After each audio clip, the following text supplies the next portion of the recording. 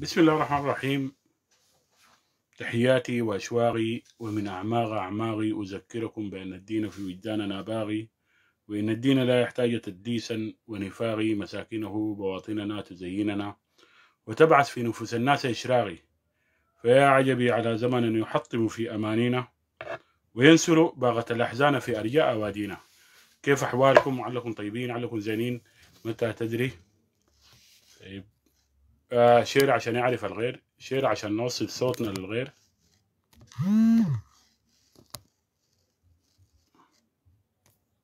دايرين نقفل هذا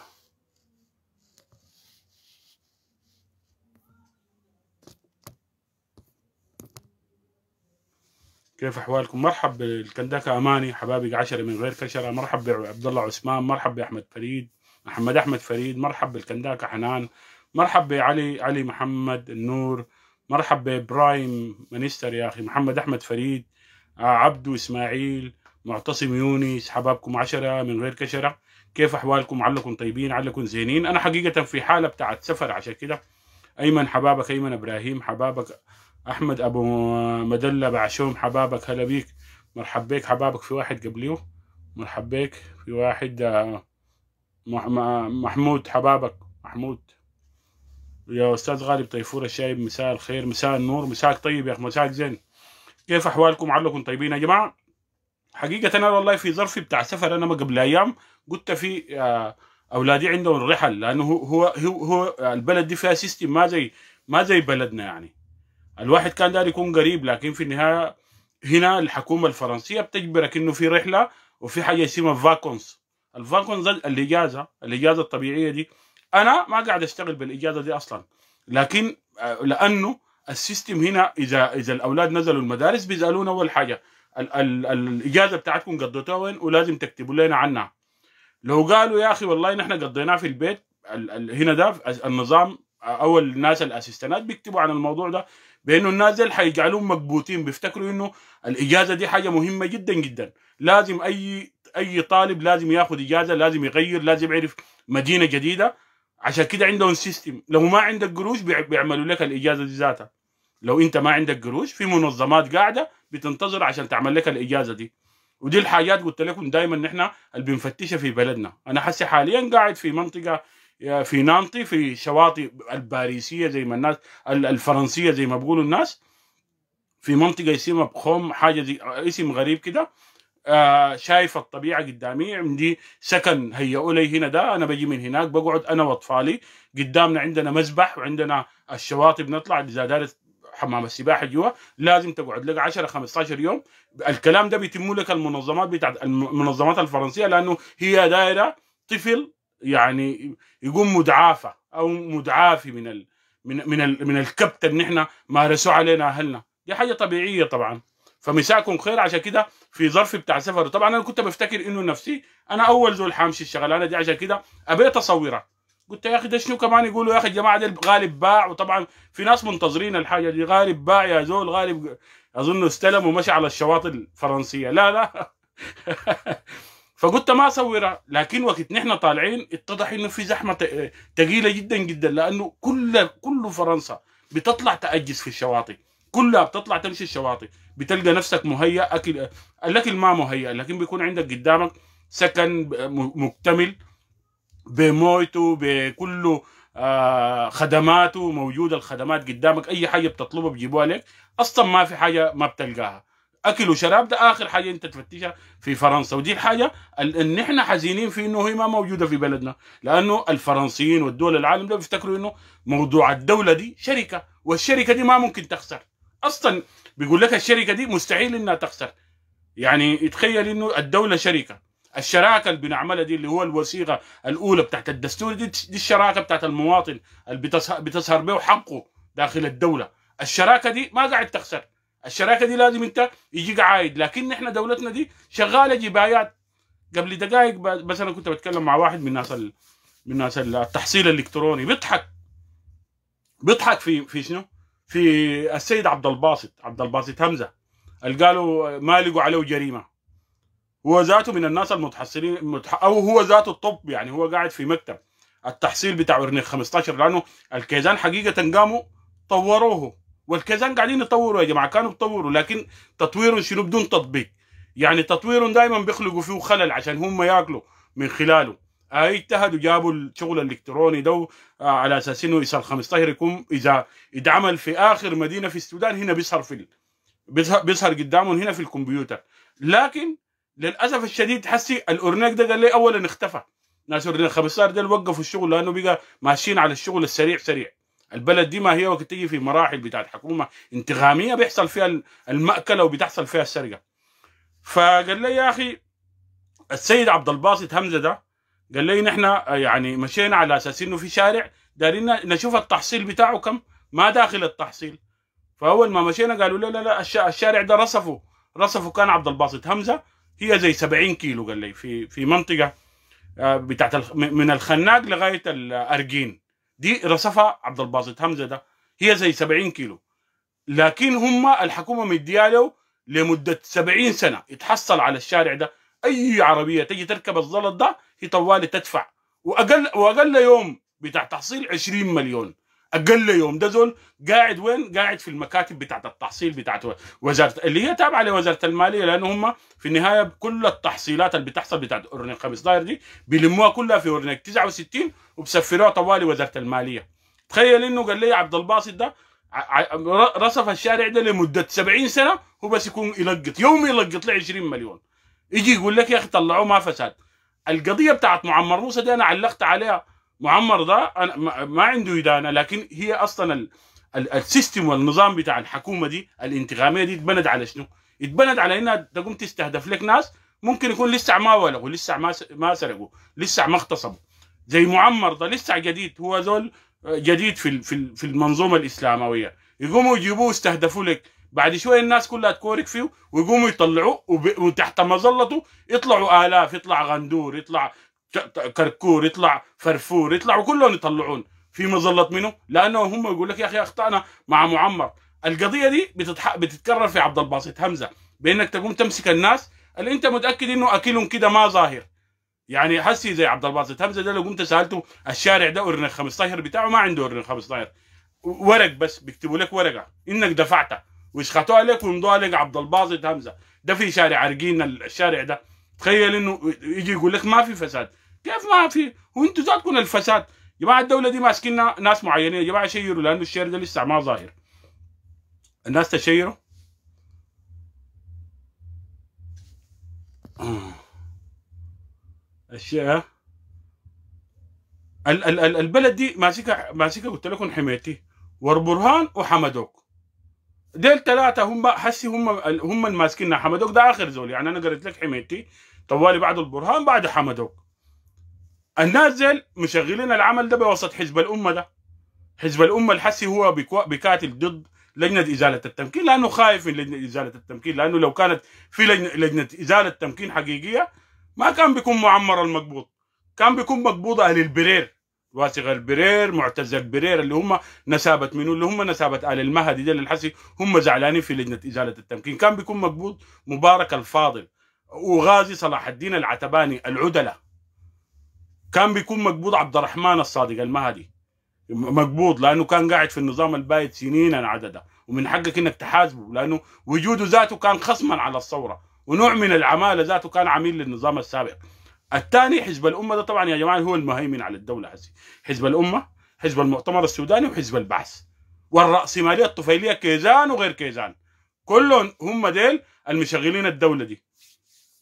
حميتي ناس ناس حميتي حميتي طبعا هو المحرك النازل كلهم. محركهم يمين ويسار وهو المحرك حمدوك وهو المحرك برهان.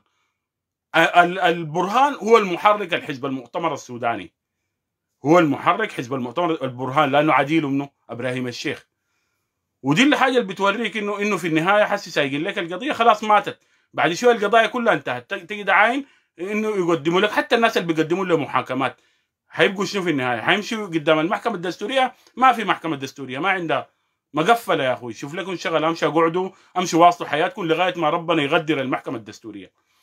يعني أي قضية إعدام غير إعدام. حتجيب في في عتبه المحكمة الدستورية. لو جيت بالقانون وبالفهم المحكمة الدستورية دي مرتبطة بالقضايا بتاعت الدستور بتاعت البلد. ما عندها قضية بإعدام زول لكن هم ساقوها لك كده. عشان أنت بيفتكروك إنك أنت عشان يستغبوك. استحمار للشعب السوداني. يا أخي المحكمة الدستورية هي اسمها محكمة دستورية. أول ما تجي في كلمة دستور هي مختصة بالدستور. أتدخل. إعدام في محكمة الدستورية شنو؟ دخلوها دي لأنه هم دايرين ظبطوك بنفس الحسابات بتاعتهم. زي ما أنت حسي حاليا مجلس الشركاء هو اللي بيفتي هو اللي بيشرع ماخذ محل المحكمة التشريعية أو البرلمان التشريعي. ماسك محل البرلمان.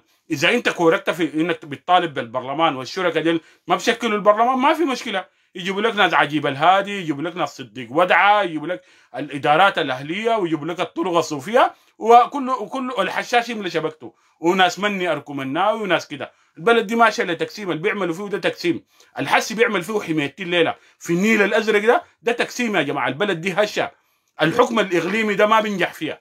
الحكم الإقليمي الحسي سايقينه. والإحتفالات دي ما بتنجح فيها. هم ماشيين لو اتقسمت فبها لو ما اتقسمت هم يكونوا نجوا من العقاب. لو ما اتقسمت هم يكون شوف شوف الناس دول بيفكروا كيف. الأحزاب دي ذات الماسكه السلطة دي ما عندها صلة بالثورة. إذا قلت لك حزب الأمة حزب الأمة ما كان عنده صلة بالثورة وأنت عارف إنه هم كراع جوا وكراع برا وعارفين الإمام بتاعهم ده لغايه ما مات كانت الثورة بالنسبة له بوخة بتاعت مرقة. ما عندها أي شيء هي شغلانة ساي كده طلعت وجات. فنجاح الثورة ده ذاته أن الشعب السوداني الحاجة اللي بتغلغل المواطن المواطن وبتعذبه إنه الناس اطلعت الناس اطلعت والناس اللي كان ضدها الناس اللي ضدها نفسهم جوا الحكومة والناس اللي كانت مؤمنة بالهبوط الناعم هم بشكلوا الحكومة الليلة اللي هم الكيزان الثانيين ديل اللي هو حزب الأمة ده ما عنده ما عنده مشكلة ما عنده مشكلة مع الإسلاميين أصلا الإسلاميين يتربوا وين؟ عاشوا وين؟ هو الإسلاميين ده جابوا منه؟ ما جابوا الصادق المهدي ذاته الترابي ده لو ما الصادق المهدي ده كان بيكون موجود ما هو الترابي ده سعى للمصاهرة دي على أساس إنه يخلق بها الكتلة بتاعته دي والكتلة دي قدرت تتآلف مع مع حزب الأمة ده. حزب الأمة جزء كبير كيزان يعني ما ما عندهم فرق من الكيزان كثير ما هم ذاتهم مفهوم ومفهوم بتاع كيزان. الحزب بتاع المؤتمر السوداني ده, ده صناعة صنعاء جهاز الأمن ومعروفين برضه كيزان. يعني ما يعني الثورة دي مش استلبت ساي. واستلبت غدرا والناس اللي بيمارسوا حسي زي كلام عمر الدقير وكده بدوا في تكميم بتاع أفواه. حسي شغالين عشان يكمموا الافواه ويختاروا لك الثوار يعني يطلعوا يقولوا قبضنا النظام البايد. الزول اللي بيقبضوه تلقى ثاير تلقى مناضل تلقى ثوري تلقى عنده خط تلقى رمز. بيقبضوا في الثوار.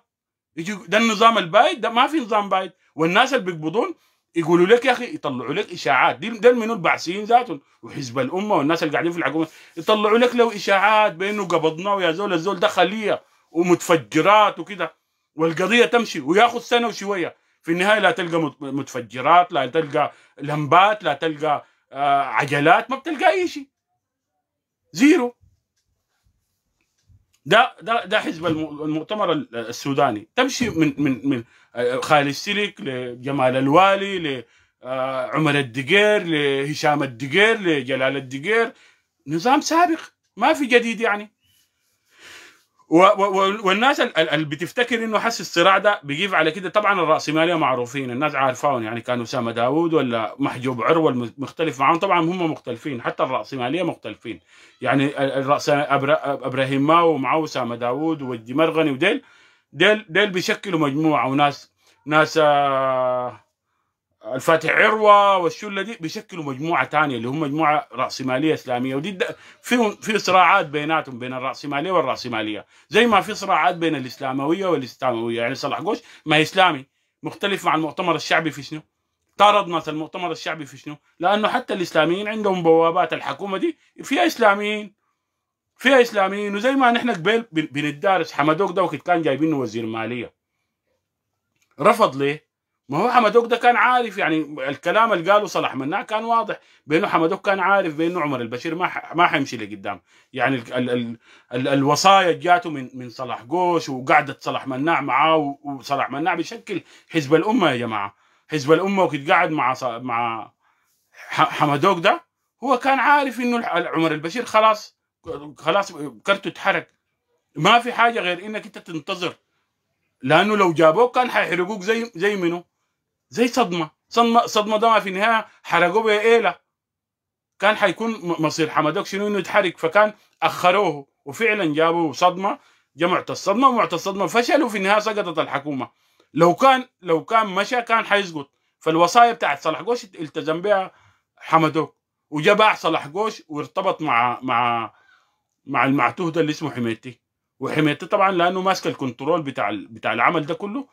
وهو زي ما تقول اشتغل الدعاية بتاعت بتاعته هو ذاته بأنه حمدوك كان مع الثوره رغم إنه هو كان يوم يوم 17 ناس وكان بيقتلوا في الثوار ويوم يوم يوم يوم يوم 8 يوم 17 اللي هي في, في أيام الاعتصام الأيام دي ذاتها كان دعم سريع. الناس اللي كان بتقتل دعم سريع. في اي في جهاز أمني بيقتل في دعم سريع بيقتل كانوا كلهم قتلة. ما كانوا أصلا قريبين للثورة لا حميتي ولا ولا حزب المؤتمر السوداني ولا حزب الأمة ولا حزب البعثيين ذاتهم. كانوا كلهم هبوط ناعم خالد السيري ده كان برا. مؤمن بالانتخابات. وحمدوك طبعا لأنه خلاص لقى ناس المنظمات دي. حسي طبعا فارد جناحينه لأنه ضامن الموضوع بتاع المنظمات ده. عارف إنه المنظمات دي بتحاول بقدر الإمكان توفق له أوضاعه. حميتي طبعا حسي حاليا ماشي عارف أهم نقطة إنه بقى نايب أول. كلمة أول دي طبعا إضافة. الناس ما سالت نفسها ليه نايب أول؟ ما معناتها في حاجة جاية. طبعا ده الكلام اللي داير اقوله لكم. طبعا في في في رؤية بتاعت إنه إذا أنت جد عينت للحلو الحلو ده ما دايرينه ناس إذا أنت بتفتكر إنه يعني يعني آه حمدوك دايرين دايرين المنظمات العالمية الحلو برضه دايرين المنظمات العالمية. الحلو ده دايرينه ناس كثيرين جدا جدا يعني. برضه زيه لأنه المشروع بتاع صندوق النقد بيكتمل مع الحلو وهم عارفين الكلام ده. يعني يعني الهبك وقت قاموا اللي هم رسلوا له إنه الهبك فتح له بوابة ممكن تقعد ثلاث سنين ولا أربع سنين إنه يكون قاعد. كان عارف إنه يعني قبل يوم رسلوا له يوم 29 بانه الهبك ده حتعفي لك ديونك. ما هو المنظمات دعماه دعماه خاصه المنظمات الغير حكومية. وماشيين في ناس ديفيد بيزلي في مجموعة كبيرة من الخواجات قاعدين مع حمدوك ده على أساس إنه هم عندهم مشروع برضه ما ساي يعني هم بحبوا السودان يعني. تمام كذلك تعال نقعد مع بعض حبا في السودان بيعشقوا السودان يعني. عاجباه نمشي يقعدوا في في الأرياف. ما هو في النهاية هم ذاتهم عندهم مشروع بتاع نهبي يعني. ما هو العالم ده لو العالم الغربي اللي أنت بتشوفه ده لو أنت مخضوع به ونحن قاعدين فيه لو إنه هم مثال للانسانيه تبقى أنت زول بليد ساي وما فاهم حاجة. ما في زول إنساني. ما في دولة إنسانية. الشعوب الشعوب هي الإنسانية لكن الدولة ما إنسانية. الدولة دي عندها مصالح. إذا هي ما شعرت بأنها هي حت أنت حتلبي لها مشاريع وطموحاتها وامالها تمشي غير مأسوفا عليك وجه تاني. يعني حسي وجود حميتي بالنسبة للغرب ممتاز جدا جدا. حتقول لي يا أخي ما ممكن والمنظمات وال... عين للسيسي ده. السيسي دكتاتوري الصغير ده البدعة منه ما زول بيغمع ما قاتل. السيوم بتاعته تحت الواطه والإبادات الجماعية. اللي بيعمل فيها السيسي ده ليه ساندينه؟ بلاده يعني؟ ليه ليه السيسي ده مسنود؟ ليه ليه أبي ليه ود أبو أحمد ده محمد ود والدب ده؟ دي ديمقراطية كده دي ديمقراطيه وكنت تجي تجيب لك زول ده الغرب. جاب محمد دب ده منه ما الغرب. جابوا تصويت جابوا انتخابات. ما ديكتاتورية ذاته. يعني الغرب ذاته منو ما فرنسا اللي قاعدين فيها دي ذاتها جابت منه جابت محمد دبي. جابت انتخابات جابته تزكيه ما قلع عديل واستبداد وظلم. ما هو عشان ما ما, ما في زول يخدعك بأنه العالم الغربي بيحبك يا زول العالم الغربي ده بيحب مواطنينه بيحب الشعب بتاعه لأنه الشعب بتاعه هو المقعد في الكرسي. ما بيسرق ما بيسرق من جوا البلد لأنه بيتحاسب. بيسرقك برا وبيجيب لون هون. بيسرقك أنت الغبي ده اللي أنت بتفتكر إنه الغرب بيقف معاك ده بينهبك أنت وبشيل يودي لون هون. يبقى في النهاية هم ما ما, ما لا الحكومات ما ما عندها إنسانية الحكومات عندها مصلحة علاقة مبنية على المصلحة. حس الكلام اللي بيعملوه إنه يوم 29 نزلوا لك فكوا لك الديون كذب تاخذ لها ثلاث سنين وممكن وممكن لا. رفع طبعا دي وقفوا بها مواكب يعني. الغربي بيريد حمدوكا هي صح؟ لأنه حيحقق له طموحاته. الغربي بحب العساكر برضه. رأيك شنو؟ بحب العساكر ولا ما بحبهم؟ ماكرون ده وقت دعا البرهان ده البرهان ده كان شغال في الكشافة. ما هو السفاح اللي قتل المعتصمين ذاته هو وحميتي الغرب بيحب الدعم السريع بيحبه ليه؟ ساي كده؟ لا لأنه موقف له التدفق الأجنبي.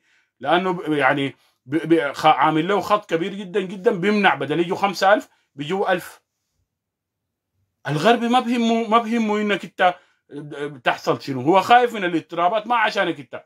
حتى لو حصلت مشاكل ما ما خوفا عليك أنت ده. خوفا على إثيوبيا والمصالح بتاعت إسرائيل يا أخي. خوفا على مصر وقناة السويس وإسرائيل. خوفا على السعودية بتاعته دي.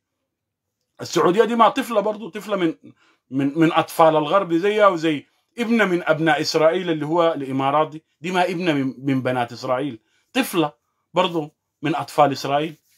الغربي الغربي بيحب بيحب ماو إبراهيم. بتاع الرأسمالية الحسي الرأسمالي الطفيلي ده بيحب أسامة داوود لأنه بيجيب له السم ب- بينهبك كده وبيودي الصمغ السوداني. الصمغ السوداني ما بقول العربي. سوداني صمغ سوداني 80% أنا أنتج تقول لي صمغ عربي. العربي وين لاقاه صمغ سوداني بيور. الغرب بحب بحب حميتي برضه زي ما بحب الحلو.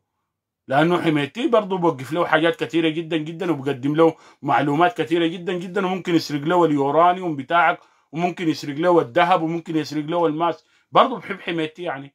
الغرب بحب الحلو لأنه شاعر بأنه المنطقة بتاعت الحلو دي فيها اليورانيوم وفيها حاجات كثيرة وفيها كنوز وفيها بترول. ما تفتكر ساي الغرب ده لازم يكون طالما سعى مع الحلو في مشاريع كبيرة ما قصة إنه بحب الدولة العلمانية والدولة المدنية والدولة الفولية. بيحبوا مصالحهم بيحبوا إنه شركاتهم دي لأنه في ظل الدولة العلمانية. العلمانية الكبيرة العلمانية الأصل. بتتفتح البلد دي وبتخش الشركات وبيلقوا. بيلقوا فوائدهم يعني. يعني أنت حتعرف تنقب أكثر من الفرنسيين ولا بتعرف تنقب أكثر من البريطانيين ولا بتعرف تنقب أكثر من الأمريكان؟ فهم دايرين برضو وقت تجي تفتح الدولة دي وهم ذاتهم وقت تجي يلقوا البلد مفتوحة ويلقوا فيه حريات ويلقوا فيه استقرار. هم هم حيستفيدوا. المنطقة بتاعته وده الكلام ال- الكلام دار اتكلم عنه طبعا المؤامرة بتاعت. بتاعت أهلنا ناس الشرك وحي النعيم.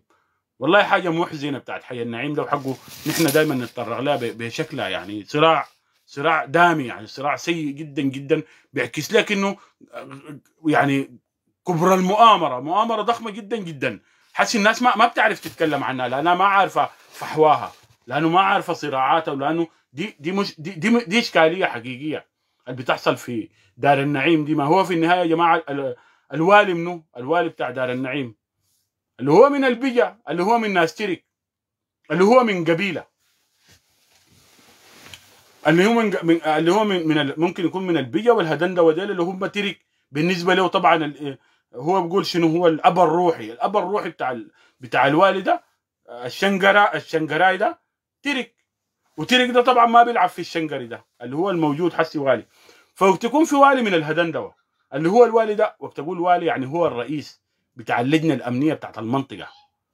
والمنطقة دي ذاتها يا جماعة بورسودان عندها خصوصية لأنه الناس ما قاعدة تتكلم عنها بصورة واضحة. المنطقة بتاعت بورسودان دي فيها خمسة فرق. فرق بتاعت جيش خمسة. تخيل إنه أنا اللي بتكلم لك عن المنطقة بتاعت تيرك دي. أنا ما بقول لك إنه يغمعون داير اوريك حقه يكون في استتباب بتاع أمن قدر كيف. حقه يكون في استتباب لأنه كمية. آه، كمية العساكر بيكون في كمية بتاعت وعي. لأنه العسكري دائما حقه يكون واعي وفاهم إنه لو قتل بيحصل له شنو. يعني والقانون هو ذاته قاريه يعني. فيكون فيها خمسة فرق بتاع الجيش.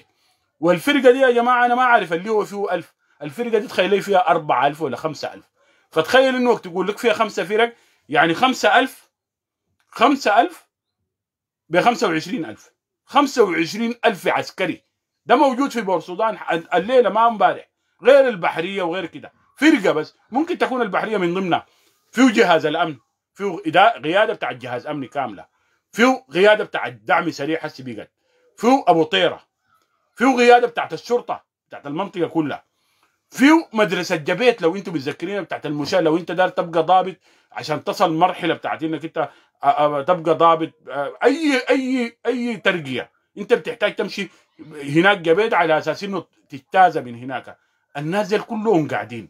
وقت تحصل المشاكل دي بيكون القيادة قيادة الجيش بتعاين في المشكلة. وبيكون قيادة الأمن بتعاين في المشكلة في بوابتهم ديل.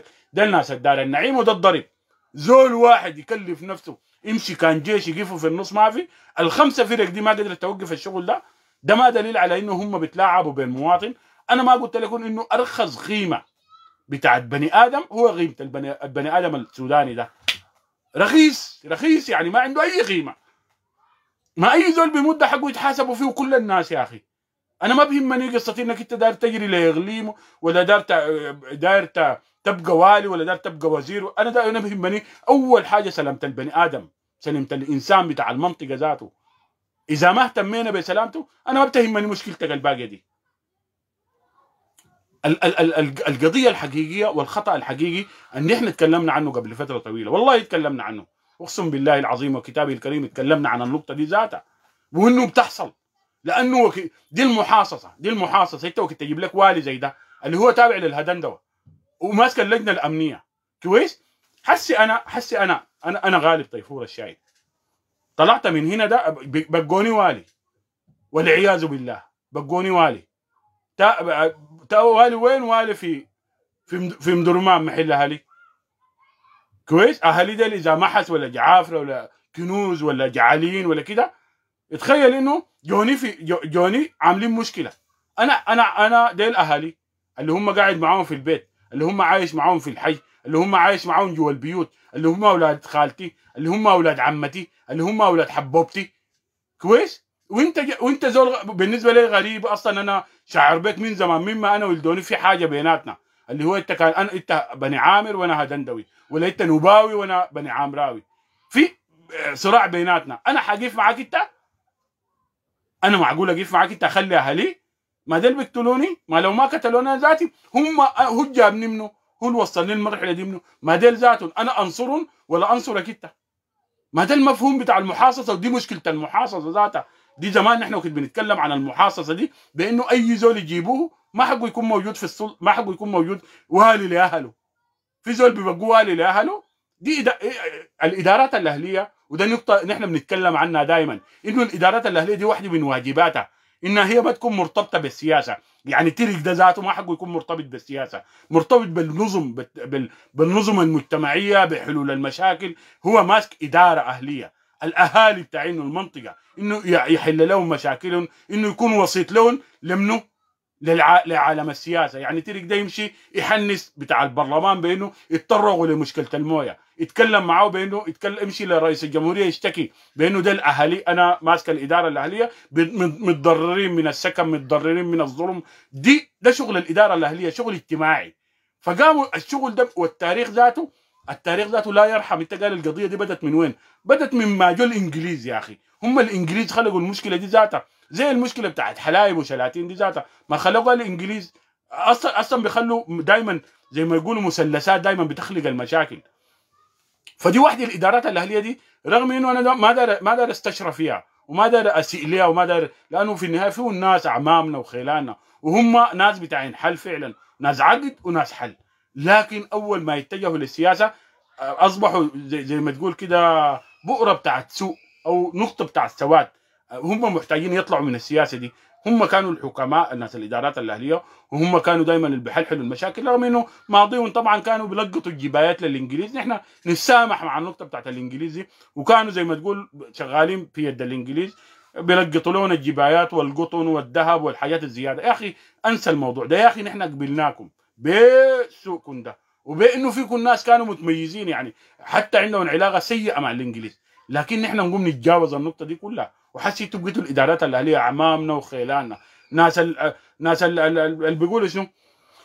ناس حل حل حلالين المشاكل كانوا. حلالين المشاكل. يا أخي اتجهوا للسياسة بتاعتكم دي. اتجهوا للعمل التوعوي اللي كنتوا بتقدموه. اتجهوا لحل المشاكل لإنصاف الناس البسطاء ديل لحل مشاكلهم تشيل المشكلة من تحت ترفعها للحكومة. أبعدوا من السياسة يا أخي. الكلام اللي بيعمل فيه حمايتي طبعا ده كل المشروع ده ده مشروع حمايتي لأنه بيفتكر إنه المواطن ده بيقدر يجر بواسطة الإدارات الأهلية. الناس المش... طلعوا مع تيرك ديل بكرة حمايتي بيدفع لتيرك عشان يطلعوا معاه لحاجة تانية. دي هو بيفتكر إنها سند. وهم منتظرين بهم الانتخابات. الادارات الاهلية واحدة من الشروط زيها وزي الإسلاموية اللي هم نحن بنقول يا أخي استغلال الدين. برضه استغلال استغلال الادارات الاهلية الطرق الصوفية. ديل استغلالهم في السياسة ده واحد حقه يكون خط أحمر ممنوع لأنه الزول ده جايك بطريقة تانية جايك بفهم تاني جايك عشان تنوره لدينه ل... لأنه كيف يعبد الله بت... يعبد الله. أنت دار توديه لأنه يعبدك أنت. انت بتفتش هذا الادارات اللي بتفتشوا فيه يوديه لأنه يعبده. هو وهو ذاته بعد ما يعبده لازم اللي بيعبدوا ذاته. يعني أنا بعبد أصحابي لازم لأنه لازم تصوت لفلان الفلاني أخدم فلان الفلاني. دي حقه تكون انتهت يا جماعة. عالم الوصايه انتهى. ده عالم بتاع وصايه لازم ينتهي. التقديس انتهى. نحن مشروعنا ده مشروع تاني مختلف مشروع بتاع صناعة الدولة القضايا دي كلها قضايا مختلقة والله. قضايا مختلقة وبيموتوا فيها ناس كثيرين جدا جدا. لو جيت عينت المستفيد منه يا جماعة؟ المستفيد من من أحداث غرب السودان منه آه من شرق السودان وغرب السودان. المستفيد منه ما حسي آه هم مستفيدين الكيزان جزء من الكيزان لكن الناس اللي قاعدين منه ما كيزان مع كيزان. يعني كيزان ترك ما عاجبهم اللي بيعملوه كيزان منه كيزان صلح قوش. وما عاجبهم اللي بيعملوه كيزان حمدوك لأنه.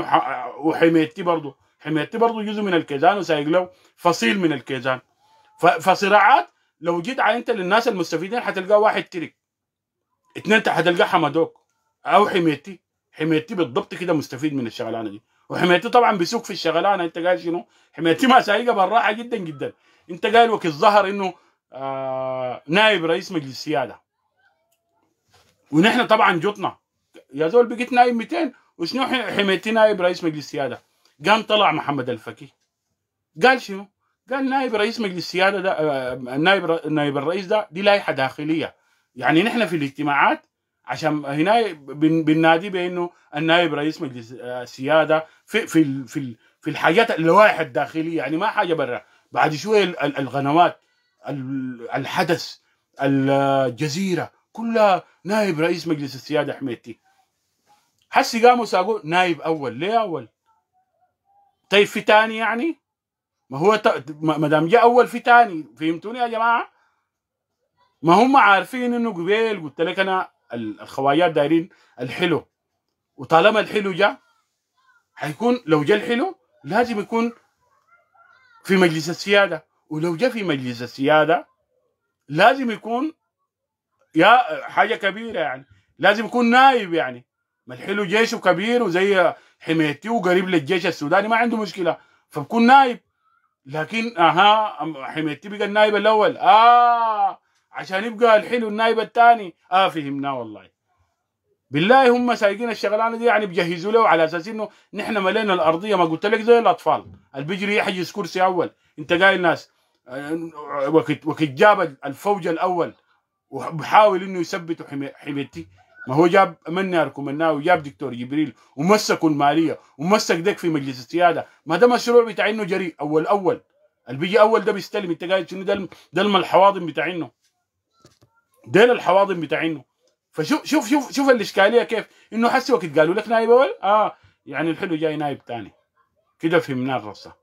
يعني بيوروك يعني. وهيحصل الاتفاق لأنه العالم الغربي بيفتش في إنه الحلو ده لازم يخش الرصة. وهم عارفين إنه حميتي ده ما ما حيقعد يحتفظ بالمجموعة بتاعته المتفلتة دي. لازم تتحلى. وحميتي واقف فيها تتك. لكن لو قدروا يدخلوا الحلو جوا جوا, جوا الرصة بيبقى بيبقى الحلو والجيش السوداني. رغم إنه الجيش السوداني تابع شوف شوف الرصة دي غريبة. الحلو والجيش السوداني. حميتي والمجموعة بتاعت ناس مني اركمناوي دكتور جبريل. اذا الموازنة هنا اتقسمت نصين. اذا في النهاية إذا جاء يجي نايب ثاني الحلو لكن بتبقى في مشكلة في الترتيبات الأمنية. الحسي شغال فيها بيعمل فيها حميتي. الترتيبات الأمنية حتشق البلد دي وحتقسمها. كلام قلناه قبل سنة ونص والله. حتقسم البلد دي الترتيبات الأمنية لأنه هو فتش بانه الترتيبات الأمنية تتم داخل الدعم السريع والدعم السريع يبقى قوة ضاربة. ما يقدر الجيش. أصلا الجيش منتهي يعني. وما في حاجة بقدم الجيش الجيش ده جيش منتهي ما كذب عليكم الجيش ده منتهي عديل. لو أنت حسي دخلت هم دائما جبن السياسيين دي دائما جبن. أرجع في الجزيرة آخر تعليق لمنه لوزير الصناعة إبراهيم الشيخ اللي هو مرتبط مباشرة بالبرهان. بيهبش الجيش كده هبشة كده إنه الجيش محتاج هيكلة محتاج صيانة محتاج صياغة محتاج حاجة تانية. بتوريك إنه في معاناة داخل الجيش. الجيش ده ما قادر يبقى جيش عديل. والبرهان ده خايف والله. أنا كلمتكم من المرة فاتت. خايف من حمايتي عديل كده. خايف. وال وال والقضية دي كلها عنده بالنسبة له إنه كيف يتخارج من الشغلانة دي. يا إما يا إما يدوا ضمانات ويطلع بيع يطلع فض مرة ويطلع من المشهد. ولا يقعد كده في الروسية. تبقى زي قصة عمر البشير. كويس؟ حمدوك ماسك ورق مهم جدا جدا. اللي هو ورق فضل الاعتصام. لجنه فضل الاعتصام دي. نحن تكلمنا قبل أنا وأخونا المجذوب تحية له. بنتكلم عن إنها هي لجنة سياسية. اللجنة السياسية دي ما ما ما, ما ظاهرة يعني كونها منه كونها حمدوك؟ اذا لجنة سياسية. لو كان كون النائب العام ولا كونتها رئيسه القضاء كان بقول لك دي لجنة قضائية. لكن دي لجنة سياسية والعالم كله عارف إنها لجنة نبيل اديب لجنة سياسية.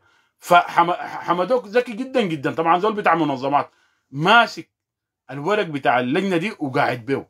لكن بيهدد بيه منه بيهدد بيه البرهان وحميتي. أي حاجة يقوم يهددهم بها بيقوا هم ذاتهم خايفين من حمدوك ده ذاته. لأنه أي لحظة عملوه بقول والله أنا خلاص أنا داير تصفية للعمل ده وده الورق لأنه ما ممكن يكون لنا قريب لسنتين ولا سنة ونص. نبيل اديب ما يكون عنده تقرير كامل عن دول دول محامي يعني. ما يكون عنده تقرير سلمه لحمدوك وحمدوك سلمه أكثر من ثلاثة تقارير. يعني أنا اللي بتذكر إنه هو قال سلم. نبيل اديب قال أنا سلمت التقرير الأول. التقرير الأول ده عنده التقارير كلها عنده. وأي تقرير كان نادت حمودي ولدي ولا محمد ولدي الصغير ده. قلت له اكتب لي تقرير أول حاجة بقول لك كذا اقبض لي برهان وحميتي وكباتي ويا صراحة والمجلس العسكري قبل ما أبدأ معي طفلي لو ناديته حيقول لك آه، ناديته قلت له اعمل لي كده حيقول لك في أول حيقبض الناس زي أنا. هي ما دايره تقرير. هو تقرير شنو يا أخوي؟ هو تقرير شافه الدنيا يقول كلها. وفي زول ما شافه؟ فضل الاعتصام ده. يا أخي النت قطعوه شهر شهر. القطع النت منه القطع النت ده حقه يكون جوا أول حاجة. قبل ما أتكلم بمشي شركة الاتصالات اللي حقوها بقت تابعة لمنه لمجلس السيادة. انت قال لمجلس السيادة وفي مجلس السيادة تابعة لمنه ماسكها إبراهيم جابر قريب حميتي. ماسكة الاتصالات دي كلها. عشان أي حاجة حميتي لازم يكون ملم بها. امشي اسال شوف الزول المسؤول من الاتصالات في السودان منه إبراهيم جابر ودعم منه حميتي ونسيبه. وماسك وشوف شوف إبراهيم جابر ماسك هنا وماسكين الشغل الثاني البنوك البنك المركزي والكده. يعني يعني موزعة. لو انت داير تقبض الناس اللي فضوا الاعتصام ما كانت محتاج الكلام ده. تمشي سودتين طوالي اللي وقفكم منه من العمل. الزول اللي وقفك ده ما وقفك بناء على الموضوع ده ذاته خلاص ده مقبوض. ده حيكون البرهان ولا حيكون حميد؟ حيكون البرهان طبعا. ولا كباشي؟ بعد تعال اقبض. أي زول كان في الأريا دي وي تلفوناتهم بس بتقبضون عشان كده هم قاموا احتفظوا بهيئة الاتصالات كلها. دخلوها جواهم وهيئة الاتصالات دي طبعا الفساد ال ال الذي يمشي على قدمين وأنا تكلمت لك عنها قبل أيام لأنه أنا كنت فيها قلت لك. فساد فساد فساد. أنا لو سمعتكم هنا التسجيلات تستغربوا. من مهندسين أنا كنت شغال فيها. أنا كنت شغال فيها وأنا أول أول ناس قبضونا تبعها يعني سنة 94 سنة 94 كان معانا هو ناس عماد الهادي كان بيتكلم معي قبل أيام. شلة من المهندسين أضربنا سنة 94 كانت في الوقت ذاك باعوها لسودتيل وباعوها بحفنة بدراهم معدودات. وكانوا فيها من الزاهدين. باعوها جدعوها كده وخلاص الموضوع انتهى. وحسي حاليا قاموا مسكوا المجلس العسكري لأنها هي ماسكة الاستراتيجية كلها. يعني تتخيل انه لو داير اي معلومة تمشي شركة الاتصالات دي بتجيبها لك من الأول للاخر بتجيب لك مكالمته ذاتها. اقتل اقتل جايبينها بنفس باللفظ كده بيجيبوها لك. فشركة الاتصالات قاموا مسكوها. زي ما مسكوا الغضاء. انت قال الغضاء مسكوه زي ما هم مسكوه. زي ما مسكوا حسي انت قال حميتي مسك الغضاء النائب العام منه؟ النائب العام زوله. النائب العام زول حميتي على أساس إنه حسي الملف ده. لو شا لو شالوه سلموه للنائب العام ثاني يوم بيحرقوا. أي حاجة اتعملت في الفترة اللي فاتت دي هو جل النائب العام غيرها. الجديد ده جايبينه صافي تابع لحميتي. مشيت لجهاز الأمن مفضل. أمشي هذا من مفضل يشوفوا تابع لحميتي ولا ما تابع لحميتي؟ تابع لحميتي. جابون خدتهم كده مجهزينهم على أساس إنه أنتم ما عندكم حاجة تقدموها. الثورة دي مش سرغت الدولة ذاتها سرغت يعني يا ريت الثورة بس. يعني لو الثورة دي الثورة دي ما ماشية لسه على الوعي مستمر وكده. لكن الدولة والله الدولة سرغت سرغت الدولة دي سرغت جميعا سرغت بواسطة الدعم السريع وال والإمارات والسعودية و... وحسي قبل شوية محمد الفكي بيتكلم عن الدول الثلاثة. طبعا محمد الفكي برضو عنده نفس المفهوم بتاع الدول الثلاثة والمحور. طبعا هو قاصد تركيا بكونه ولي... تركيا و... تركيا ومعاها قطر ومعاها تاني منه تركيا وقطر وإيران.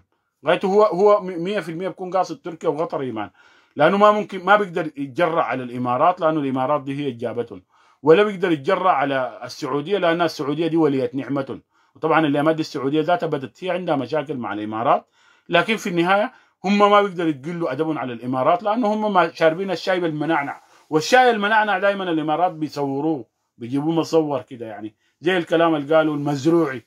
ما هم قال نحن أي زول زارعين له المزروعي ده أي زول فيهم عارفينه كان خالصي لك أول ما تجي كان ما كان ما عديته هنا ده كان مشيت عديته في الشارع القروش دي بيجيبوها لك بالكاميرا بس انت قاعد وبحددوا لك الشارع بتاعك في جميرة ولا في أي محل داخل الإمارات. أصلا ما عندكم حل بينكم تطلعوا من من الماسونية الإماراتية دي. مصورين يا أبوي. مصورة قروشكم مصورة فسادكم مصورة إجرامكم داخل الفنادق. كله مصور. انت قال انت قال الناس زي بيكونوا برا بوش وجوا بوش ليه؟ ما لأنه أول ما أول ما يدوك الوظيفة دي إذا ما ضمنوا المساكات بتاعتهم. المساكات دي في ناس كثيرين بيعرفوها بتاعين الكشتينة إذا ما ضمنوا المساكات ما بدك لها ما بدك ما بولدهن. دامنين المساكات الإماراتيين دامنين المساكات وعارفين ناس إبراهيم الشيخ وعارفين ناس خالد سيلك وعارفين كل الشلة دي كلها عارفينها. أي زول مشى كان ياسر عرمان اخذ كم؟ كان مريم الصادق المهدي معروفة أخذت كم؟ فالقضية بتاعت الإمارات دي ما بيقدروا ينبذوا بينبذوا قطر بينبذوا كده وهم شغالين. وقطر والإمارات وقطر و... وتركيا ودين ما عندهم مشكلة. هم عارفين برضه ناس وفي النهاية بيلقوا زي حمدوك بيلقوا زي حميتي بيلقوا كده بيمارسوا ش... آه سرقتهم ونهبهم. خلينا نشوف في حاجة. طيب آه القضية بتاعت النقطة المهمة بتاعت الوالي اللي اختاره ده ده واحد من قلت لكم المحاصصة يا جماعة هي اللي حتضيع البلد دي. دي نقطة مهمة جدا جدا. شوف الوالي بتاع بتاع بورسودان ده ولا الوالي بتاع المنا... بتاع بورسودان نفس القضية بتاعت مني اركمناوي نكون نكون واضحين ونكون منصفين عشان نتكلم بفهم كده. إذا إذا حصلت مشكلة في حسي في في غرب السودان بين أهلنا المساليت وبين أهلنا الزغاوة. مني اركمناوي ده بيقف مع منو؟ بيقف مع الفور؟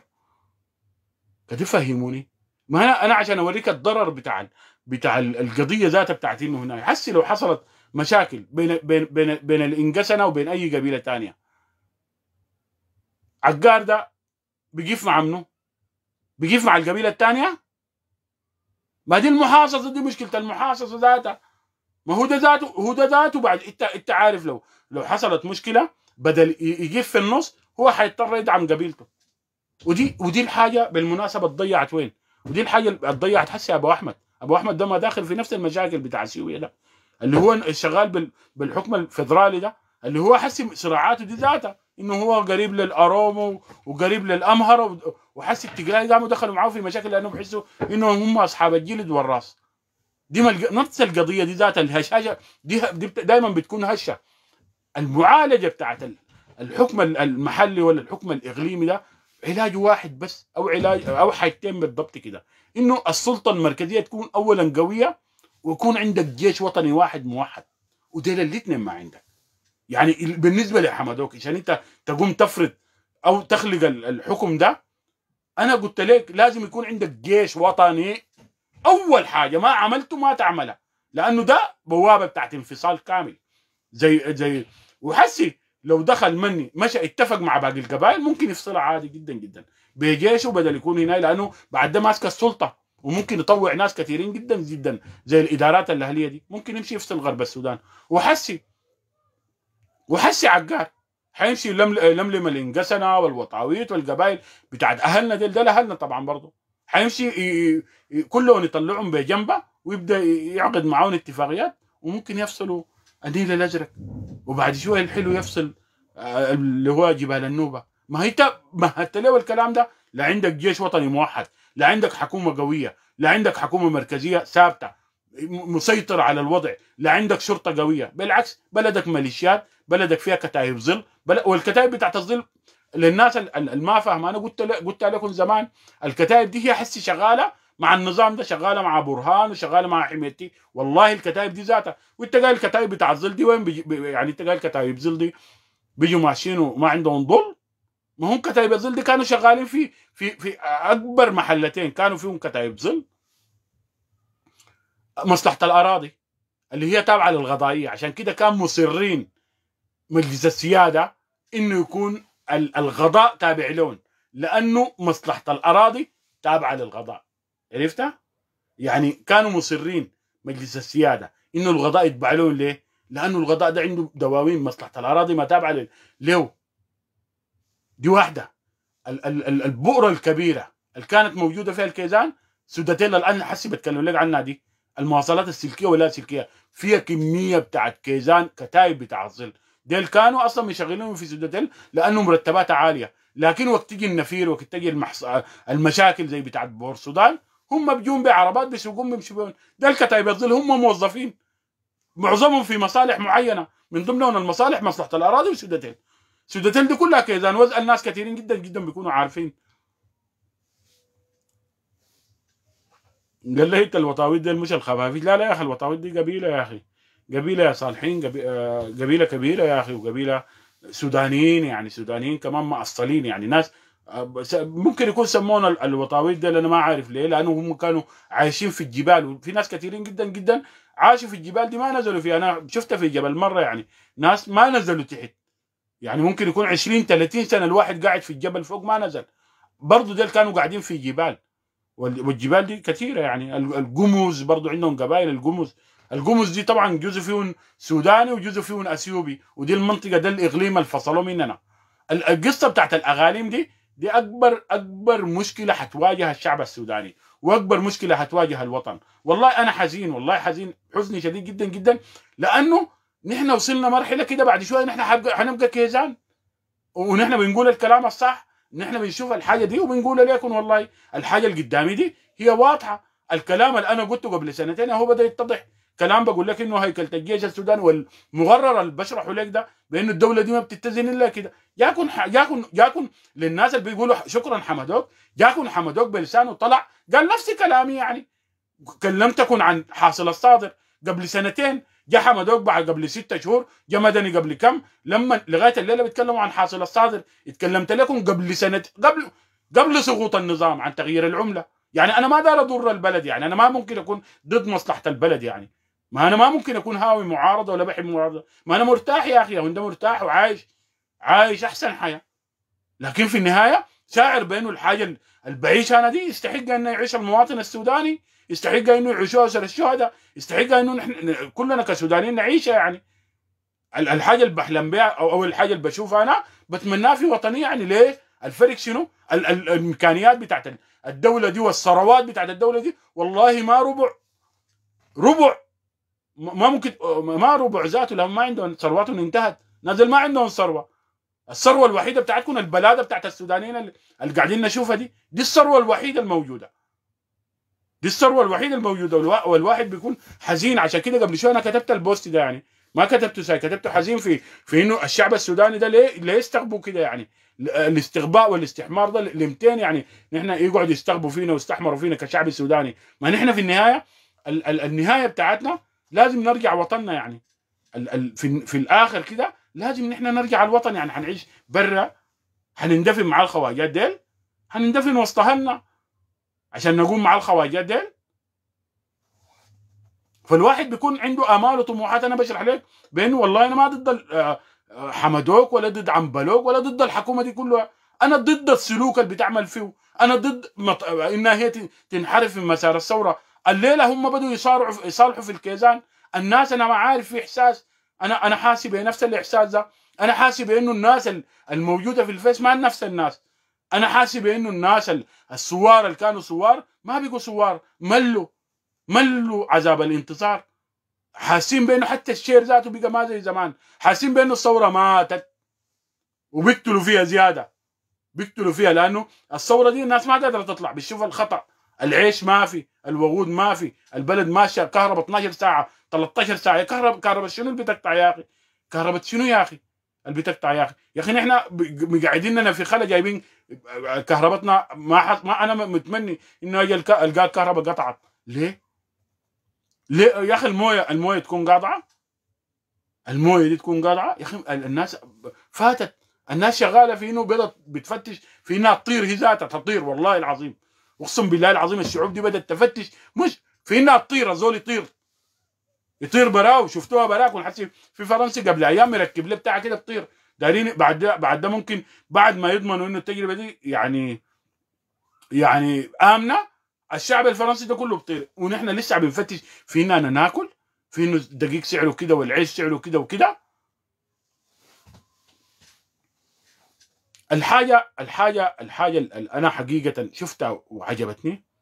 قلت لكم الضرائب الضرائب دي.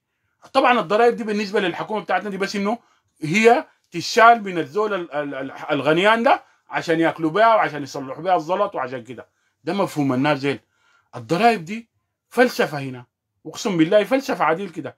بالمناسبة أنا كنت بتكلم مع واحد قريبنا برضه في سودتين كان بيتكلم عن عن حاجات كثيره جدا كان بيشيلوها من الشركة بتاع الزين لأنها تابعة للكويتيين والشركات دي. بالمناسبة شركة زين دي شالوا شالوا منها دماغ وحاجات كثيره جدا وضرائب كثيره جدا جدا على أساس إنه بقت برا آه، زي ما يقولوا يعني ما ما بتنشال منها الضرائب دي. في ضرائب بتاعت الكرت ذات والكرت العادي اللي بتنزله ده في ضريبة له. أي إدارة الضرائب بتشيل فيه بتشيل فيه أموال قريب ل 13 14 تريلي- تريليون قاعد تضيع ساي لأنه ال- المجموعة بتاعت شركة آه، زين دي ما قادرين عليها. هي طبعا كلها كيزان برضو. في, في الكيزان قاعدين حتى صلاح مناع ذاته ما قادر على شايف بي- بيجهجهوا لك فيه. فقلت لكم يا أخي الناس عايشة والناس مستمتعة والناس تخطط المرحلة بتاعت أكلوا شربوا دي. أكلوا شربوا. ما في ما في زول بيفتش فيها نحن الوحيدين اللي عايشين المعاناة دي. والله الشعب السوداني الوحيد اللي عايش المعاناة دي. الشعب السوداني الوحيد اللي بينتظر آه، الخريف عشان هو عارف إنه في بيوت حتقع وفي مجاري حتتقفل وفي مواصلات حتجيف الشعب السوداني لسه بيعاني. الشعب السوداني عارف إنه منتظر يا إما يلقى غاز ولا ما يلقى. الشعب السوداني يا إما يلقى فحم ولا ما يلقى. الشعب السوداني عايش في مش في خط الفقر عايش برا خط الفقر. وحس في النهاية جايبين له ثمرات. يا زول ثمرات شنو أقف في الصفوف عشان يشيل لي دقيق وزيت وهناك ده يا أخي يا أخي دي إذلال لل- للبشرية وإذلال للبني آدم ذاته يا أخي. قال لي خليك خليك خليك واقعي يجيبوا لك الكهرباء من وين؟ يا أخي يجيبوها من أنا قلت لك يجيبوها من أهلك. الكهرباء دي الكهرباء دي أنا ما قاعد أدفع فيها مقدم. الكهرباء دي يا أخي ما أموال نهبوها. يجيبوها من وين كيف؟ أنا آه، يجيبوها من يجيبوها من يجيبوها من الأموال اللي بينهبوا فيها دي. يجيبوها من استرداد الأموال المنهوبة.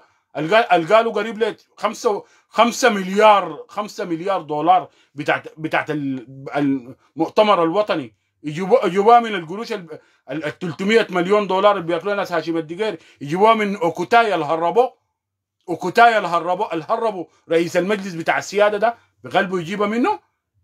انت هربت الناس اللي عندهم قروش تجيبها من وين؟ وكوتاي ده خم... آه، وكوتاي ده أكثر من خمسة خمسة ستة مل... ما خمسة ستة. هي 300 آه، 300 مليون دولار. دي المعروفة. وكوتاي. غير آه، وداد بابكر غير قروش. الناس آه، اللي هو الحسي بيتكلم عنه ده اللي قبل شوي بنتكلم عنه ناس. طارق سر الختم وناس عبد الباسط همزة. الأموال المنهوبة دي يجيبوها ينزلوا ينزلوا من ال Infiniti الراكبينها دي ويجيبوها يجيبوا بها مولدات للناس. يحسنوا بها الكهرباء دي يجيبوها Infiniti. أنا جايبك عشان تركب Infiniti أنا جايبك عشان هو هو يا أخي حمدوك ده وقت جانا جا لابس شنو؟ ما جا لابس الل- اللبسة الاشتراكية تقول تابع لجهاز الأمن. حتى أمشي شوفوا لابس شنو؟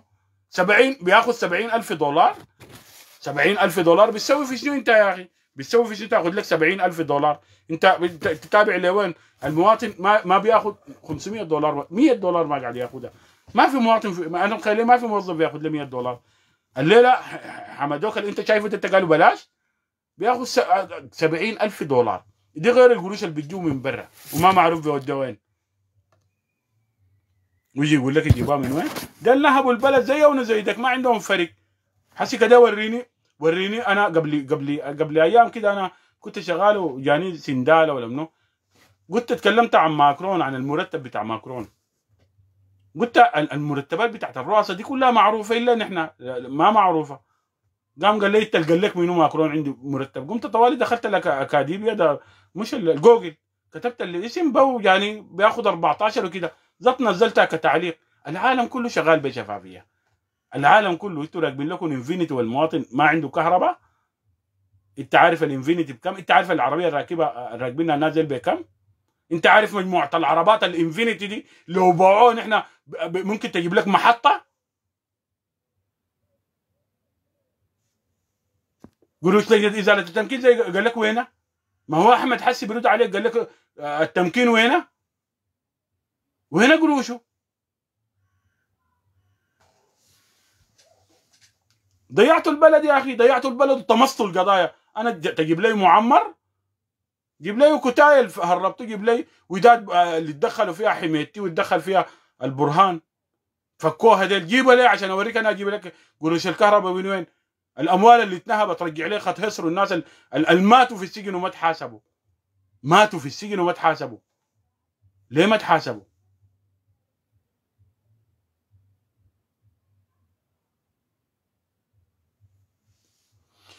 هاي سوى شنو سوى شنو غير السجن وبس.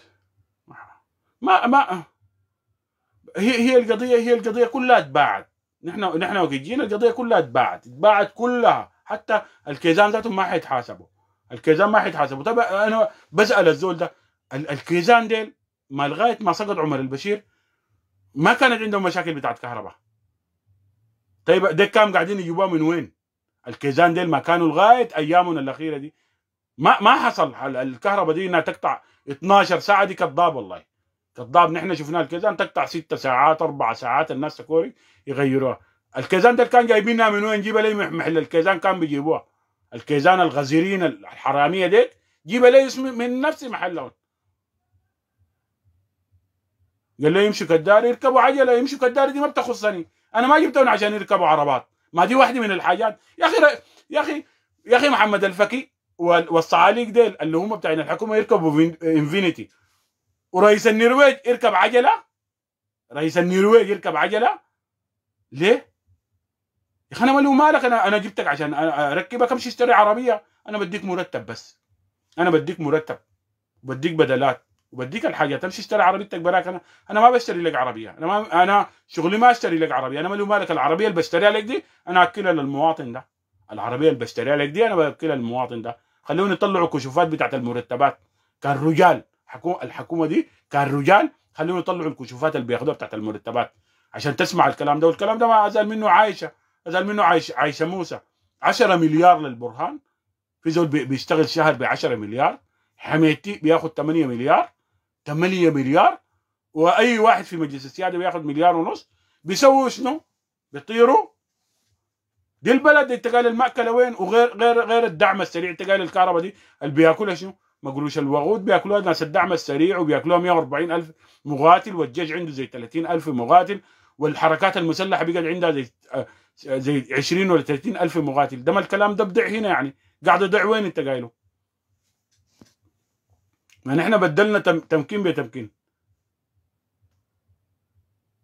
قال لي نبيع لك السودان الكيزان كان بيبيعوا الأراضي. السودان اللي كان بيبيعوا الأراضي دي ما تطلع لهم اراضيهم كده وين ما حاسبتهم مالك؟ ما حاسبتهم مالك. طبعا ما حيقدر يرد. كده ورينا الناس اللي باعوا الأراضي ديل. الناس اللي باعوا جنوب السودان. والناس اللي باعوا الفشقة. والناس اللي باعوا حلايب. ما حاسبتهم ليه؟ جيت قعدت معاهم وواصلت في نفس المشروع بتاع حلايب ليه؟ يا أخي انت انت الزول اللي بتناصر فيه وعشان يسترد لك الفشقة اللي هم المصريين دول قالعين منك أراضيك يا أخي. يا ما, يركبوا عربات Accent يا أخي التحية لك يا أحمد يا أخي. Accent ماله زي ما قال لك يا أخي. Accent ماله. Click ماله. Nubira ماله ما يركبوها. ويركبوها من حقهم. أنا مالي ومالهم أنا ادفع لهم يا أخي. أحداث بورسودان تكلمنا عنها يا أخي دي مؤامره قلنا لهم. بورسودان دي قلت لهم فيها خمسة فرق. فرقة بتاع الجيش الفرقة دي فيها 5000 25000 فيها جهاز أمن فيها دعم سريع وفيها بطيرة وفيها قيادة الشرطة قياده قيادة بتاعت الشرطه بتاعت بورسودان وفيها مدرسة جبيت وفيها كل شيء. لكن الناس ديل هم دايرين الصراع ده يدور. والوالده ذاته لأنه تابع لقبيلة ثانية وده صراع قبلي. وده الصراع بعدين عاين له حيحصل مع مني اركمناوي وبكرة عاين له حيحصل مع عقار. لأنك وقت تختار زول بتاع قبيلة وتجيبه تخطه القبائل الثانية ما بتقبل. وهو ذاته وحتى لو قبلك لو حصل صراع بين قبيلة وقبيلة هو ما حيسند قبيلتك دي لأنه حتبقى له عيبة. الكلام ده ما واضح. يعني أنت الحاجة جبتها دي كلها كده. أنت والله أنا ما لك بأي شيء ولا داري أركب ذاتي. قال لي أنت هسي راكب نوفيرا بس آه، هندام هندام رئيس الوزراء ده موضوع عادي أما الباقي كلام صح. والله أنا ما ما بتكلم عن الهندام بس يعني أنا ما قصدت أنا ما أنا ما بديك بديك إشارات. بقول لك يا أخي الناس ديل في حاجة اسمها إبراء ذمه دي كلام حمدوك هو شافه في المنظمات دي قبل ما يتعين. وفي حاجة اسمها خلو طرف. ده قوانين أي زول اشتغل. وحمدوك اشتغل ولا ما اشتغل؟ عنده خبرة ولا ما عنده خبرة؟ أول حاجة كان حقه يعملها حمدوك إنه يعمل لنا ابراء ذمه عشان اللجنة بتاعت إزالة التنكيد دي نحن ذاتنا نضمن إنه كده عشان نعرف إنه ما في فساد عشان يورينا إنه في خط بين السابق وبين الما... بين القادم بين المستقبل وبين الماضي. حقه يورينا ده ما خط أول ما يجي يقول لك يا أخي كده أنا اولا عندي كده وعندي كده وعندي كده ودي إجراءات ودي كلام بياخذوه في في القضائية بيمشي كل ال... كل الوزراء ديل بي... بي... بي... بيبصموا بالحاجة الموجودة عندهم. حاجة اسمها ابراء ذمه كانوا ورونا إنه فعلا سقطت. ودي طبعا اتخطاها طوالي المحاصصات اللي عملوها دي كانت واضحة بأنها حتضيع البلد دي. حسي الصراع المدور ده. ده لأنه لأنه لأنها محاصصات. لو أنتم بتتذكروا ترك ذاته عنده شغل عنده صراع مع منه مع ال مع ال مع ال اللي بيقولوا اللي هم ال- البني عامر. عنده عنده صراع مع البني عامر. شوف تيرك ده ال ال الوالي الوالي الوالي عمار ذاك اسمه منو عمار بتاع كسله ده لأنه من البني عامر قرب يعمل حرب. لكن حسي بتاع بورسودان ده لأنه من قبيلته ساكت ساي وكل الفرق دي ذاتها كلها ما قادرة تقبضه. شنو الترك يا أخي؟ شيل الزول العفن الجعج والهناي ما تقول لي. أنا ما بتكلم عن إنه هو كده. ده- دي سيادة الدولة. لكن لو جينا عاينا بمنظور ترك أنا بلقى ترك برضه عنده كلام صح يعني. ترك ما شاف في حاجات غريبة بتحصل. اللي هو التقسيم ده ناس أسامة اسمه منو؟ أسامة ومعه ال... وخالد جاويش. وأسامة أسامة أسامة منو يا الله؟ اللي هم جابوا حميتي. لماون حميتي. و... و... وشاف ال- الحكم الذاتي اللي عملوه لجبال النوبة في الاتفاقية. وشعر بأنه الاتفاقية دي سا- ساقوا لها البني عامر ديل. دي بتوريك إنه هو لازم يجيب وقفة. ده صراع قبلي صراع قبلي لأنه خلقته منه خلقته اتفاقية جوبا. الاتفاقية اللي قلت عليك زمان قلت لك بتضيع البلد الصراع اللي بيعمل فيه تيرك ده سببه اتفاقية جوبا. أمشي أسأل أي زول أسأل تيرك ذاته. السبب الأصلي اتفاقية جوبا الزمان اللي أنا حذرت منها وضحكت في إنه حمدوك الأهبل ده شا يا أخي زول أنت رئيس وزراء وسبب المشاكل حميتي.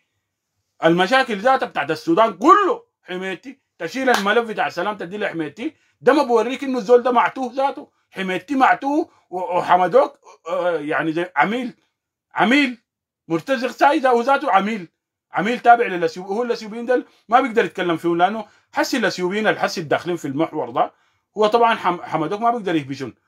هم اللي جابوه لأنه هم المنظمات. كويس؟ حسي ما تشوف الصراع ده عاين له هو لابد كيف.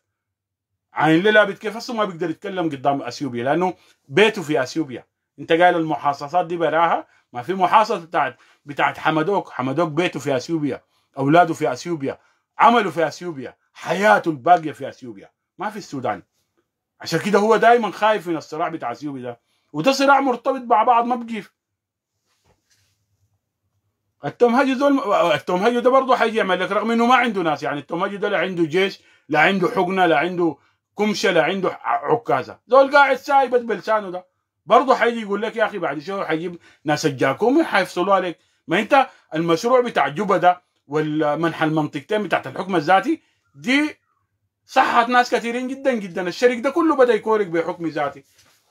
ولو حق الشريك ده ما ما اتاذى أنت قايل الناس اتاذت برا في غرب السودان وفي في في آه النيل الأزرق ولا نهر النيل. ال- الشريك ده الشريك ده حياته كلها ينقل. ينقل في الدقيق وينقل في الزيت عن طريق مينا عن, عن طريق المينا. والناس كلها مستمتعة بالكهرباء وبالأكل والشراب. هو ما عايش الشريك ده ما عنده حق لكن ما ترك اللي عنده حق. المواطن بتاع شرق السودان المواطن الحر الأبي. الناس دي الاشاوس يا زول الهدندوه والبني عامر وال والقبائل دي والنوبه اللي هناك دي دي قبائل أشاوس. ناس والله العظيم يعني يعني فعلا ناس رجال ناس عندهم كلمة. ناس عندهم تاريخ يا أخي. ما معقول تتلاعبون الحكومات دي ينظلموا ظلم الحسن والحسين. الشرق السودان مظلوم يا أخي. ده حق يجب أن يقال أي زول بيفهم شرق السودان ده ينظلم. بس أنا أنا بفتكر إنه ترك ما بمثل الناس دي أنا شخصيا بفتكر إنه ترك ما بمثلون بفتكر إنه المواطن الشرق ده هو اللي بيمثلني. أو هو هو اللي بيمثل. المواطن بتاع الشرق. لكن ترك ما بمثل. مجرد كوساي متنطع بيحاول يستغل القضايا. لكن المواطن بتاع شرق السودان يستحق إنه يعيش حياة كريمة يعني. يستحق إنه يعيش حياة آه رغدة. يستحق إنه لأنه قاعد يقدم للسودان يعني. لو ما بور السودان دي والله البلد دي لا كان بيخشها دقيق ولا بيخشها بنزين إلا طيران. فما معقول ينظلموا كده يعني. الناس حقه تكون منصفة للناس فأنت تيجي تعمل حكم ذاتي بهنا أعمل لهم برضه حيقول لك حكم ذاتي. يا أخي أنت منو عشان تعمل برهان؟ منو عشان يعمل حكم ذاتي؟ أقسم بالله العظيم وكتابه الكريم الحكم الذاتي ما عملوا البرهان. هاي عملوا كتبوا البرهان وأصدروا البرهان لكن هو حميتي. أقسم بالله أقسم بالله. شفت شفت أبات شنب الاثنين ديل؟ والله والله أبات شنب ديل الاثنين البرهان وحمدوك. وحياة كتاب الله. سايقون حميتي الاثنين من شنباتهم بينا واحد باليمين وواحد بالشمال. وحياة كتاب الله. أقسم بالله العظيم أنا بحلف لك. أقسم بالله الاثنين أبات شنبات ديل سايقون لك. والكلام ده قالته عايشة موسى. مش هذا أقرأه. عايشة موسى قالت حمدوك ده سايقين يضينا ساي. يضينا والله الاثنين. شفت البرهان بشنبه ده وبحركاته دي؟ شنب ممسوك من حميتي بيده الشمال وبيده اليمين. الاثنين جاريهم كده. يمين يمين شمال شمال. وحياة كتاب الله. والكلام ده مش يزعلوا منه. والتاريخ بيجي بيوريكم له بعدين بتتذكروه يوم حتيجي تتذكروه عديل كده. لأنه دي أحداث نحن شفناها عديل أو نحن تابعناها لغاية ما وصلنا لكلامنا ده إنه الناس المجموعة دي كلها سايقة حميتي.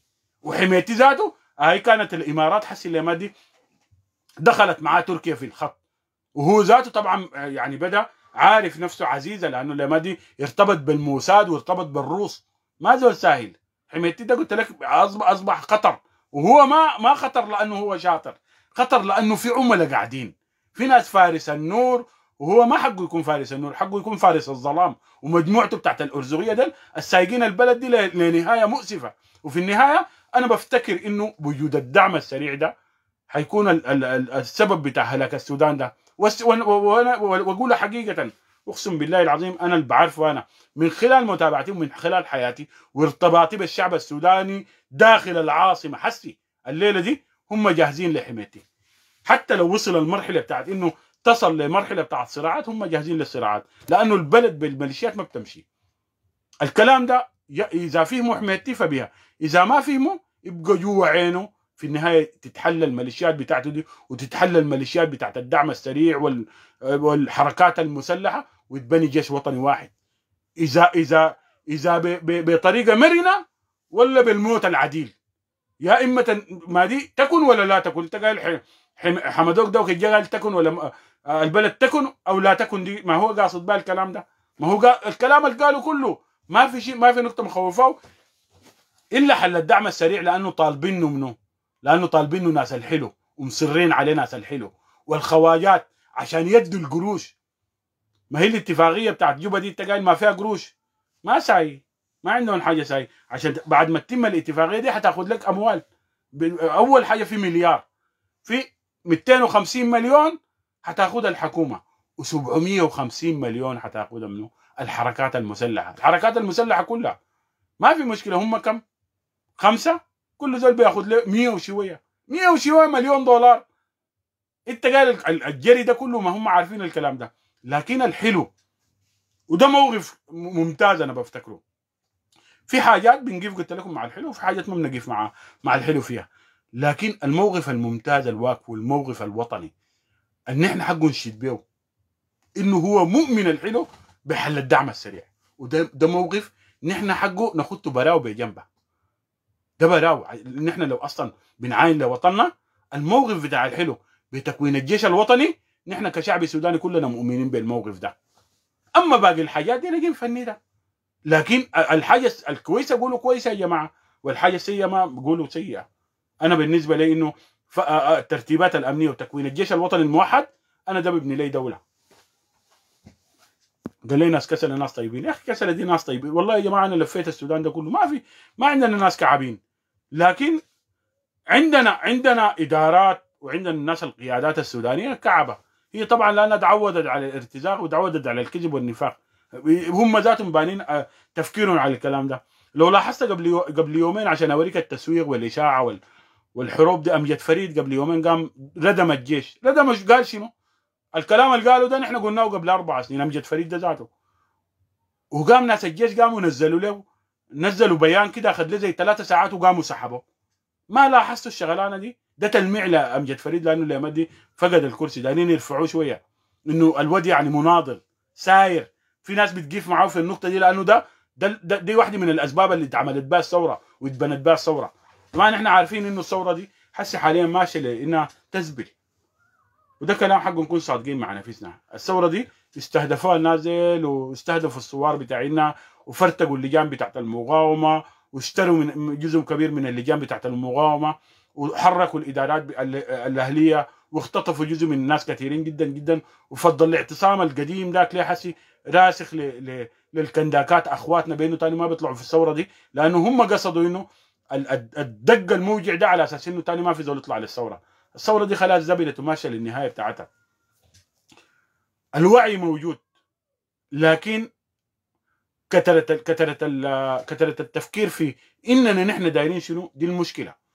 أنا بفتكر زي ما المرة اللي فاتت طلع اللهبه اللي قالوا قال قال صلاح سنداله إنه يوم 29 يا جماعة نحن نستهدف الجيش. نستهدفه بهاشتاج. نستهدفه باعتصام. نستهدفه بموكب. أنا أنا لسه مصر على يوم 29 الجاي ده اللي هو حيكون يوم خميس. حندعي له إنه 29 ده بنفتش في إنه نحن نخرج كيف. لكن قصة إنه نحن نكون قاعدين ساي دي ما حنكون قاعدين ساي. نحن ماشيين تكن ولا أو لا تكن. تعيش أو لا تعيش. يا إما يكون عندنا. سودان سودان عديل سودان وطن حدادي مدادي. ونؤمن بأنه حنبنيه بعد ده. يا إما ان إحنا ننسى الموضوع ده وتبقى البلد دي بلد ميليشيات وبلد حركات مسلحة ويحصل فيها الفساد والشعب السوداني كله يبدأ يهاجر. هاجر أمريكا هاجر لندن هاجر أي فيجا والناس تعيش على كده. يا جماعة نحن واقفين في موقف واحد. مطالبنا تغيرت. لكن أنا بفتكر إنه مطلب الدعم السريع والميليشيات دي ده ده المطلب الأول أول حاجة حقول نحن نطلع له إنه تتحل الميليشيات دي وخاصة المعتوه حميتي ده. ما في ما في سوداني ما عارف إنه حميتي قاتل يعني. إلا يكون زول كذاب وزول منافق شايف؟ أقسم بالله العظيم حميتي ذاته عارف. أقسم بالله أخوان حميتي عارفين وأهل حميتي وحبوبة حميتي والخواجات عارفين والدنيا دي كلها عارفة إنه حميتي ده قاتل. ما في زول ما عارف إنه البرهان ده قاتل والله العظيم والله ما في. ما في زول ما عارف إنه حمدوك ده زول ضعيف ضعيف وهش وما بيقدر يكون دولة وهو ذاته ما الزول اللي بيجي في الفترة دي. ما في زول ما عارف. ما في زول ما عارف إنه المجلس العسكري شغال وما في زول ما عارف إنه الجهاز الامني لسه شغال. بيساند في حمايتي وبيساند في البرهان. نفس الجهاز نفس الزول الكاتل ولدك. هم ذاتهم. الوضع بقى ظاهر. 29 الجاي ده حنبدأ ندعي له ولغاية ما ربنا يسهلنا. الحاجة اللي إحنا بنعيشها دي بنتمنى إنه يعيش الشعب السوداني كله. يعيش حياة كاملة مكتملة يعيش حياة بتاعت كرامة قبل ما يعيش ذاته يعيش بكرامته أول حاجة التحية لكم ولله قدام يا